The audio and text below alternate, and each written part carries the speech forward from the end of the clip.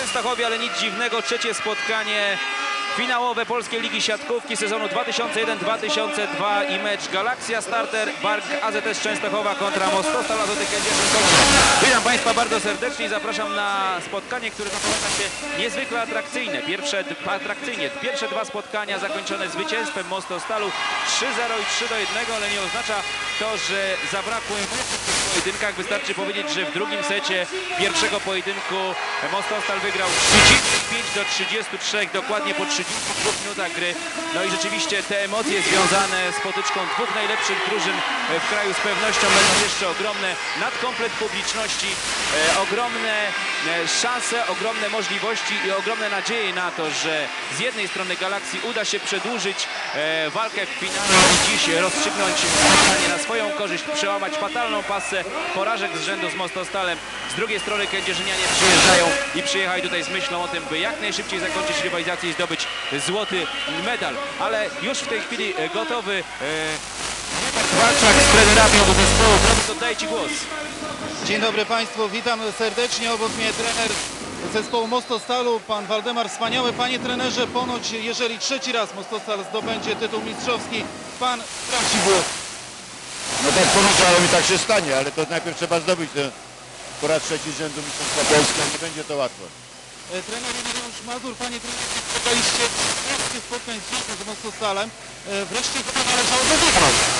Dodam, dodam, pamiętam obowiązki. Pamiętamy, przed nami jest teraz spotkanie.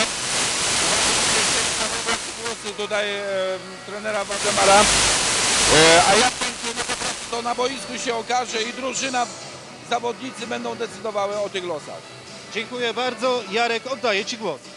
Drodzy Państwo, jak e, Państwo słyszeli, obaj trenerzy nie tracą wiary w to, że uda się dzisiejszy mecz rozstrzygnąć na swoją korzyść, ale szybciutko przedstawmy składy obu zespołów. Rozpoczynamy od e, gości Mostostal Kędzierzy z numerem drugim Roman Dębończyk, z numerem trzecim Piotr Lipiński, z numerem szóstym Marek Kardos, z numerem ósmym Rafał Musielak, z dziewiątką Wojciech Serafin, z e, dziesiątką Robert Szczerbaniuk, z jedenastką Marcin Prus, z dwunastką Jarosław Stancelewski, z trzynastką Sebastian Świderski, z czternastką Paweł Papkę, z szesnastą Aleksander Januszkiewicz i z 17 Bartłomiej Soroka. Natomiast dziś gospodarze e, chyba w optymalnym ustawieniu z numerem pierwszym Radosław Panas, z dwójką Grzegorz Wagner, z trójką Michał Bąkiewicz, z czwórką piątką Arkadiusz Gołaś, z szóstką Relicy Simicza, e, z dziewiątką Marcin Nowak, z Andrzej Stelmak, e, z dwunastką Grzegorz Kokociński, wcześniej z jedenastką Bartosz Szcześniewski, z czternastką Grzegorz Szymański z siódemką Krzysztof Ignaczak.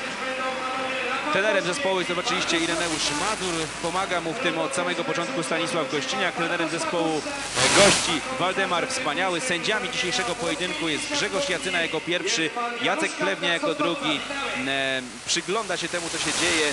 E, Janusz Kapka z Sosnowca. On jest komisarzem e, dzisiejszych zawodów. I zanim poznamy i rozpoczniemy ogromne emocje, myślę, że możemy przedstawić już pierwsze szóstki obu zespołów.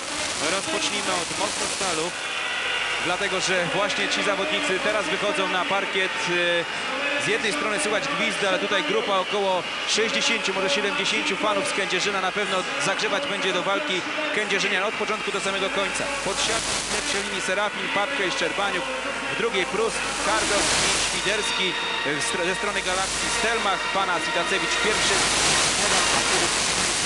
Jak sami Państwo widzą, te ustawienia są niemal identyczne z tymi, szóstkach wychodziły oba zespoły w pierwszych spotkaniach finałowych w Kędzierzynie. Jedna, ale dość istotna zmiana w Stalu. Zmiana na pozycji libero. E, Dziś e, będzie zawodnikiem właśnie libero. Wojciech Serafin, a to za sprawą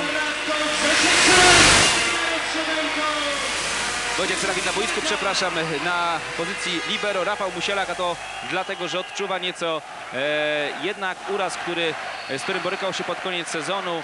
Miał problemy ze zdrowiem i w sumie łatwiej będzie mu się grało bez konieczności wyskakiwania i atakowania. A szkoda, bo z jednej strony jest to zawodnik bardzo wszechstronny, e, z drugiej e, bardzo dużo punktów zdobywał właśnie w pojedynkach e, z Galaksją, bardzo awansował mocno do góry w klasyfikacjach Polskiej Ligi Siatkówki, jeśli chodzi o najskuteczniejszego zawodnika, najczęściej zdobywającego punkty. E, Również lepiej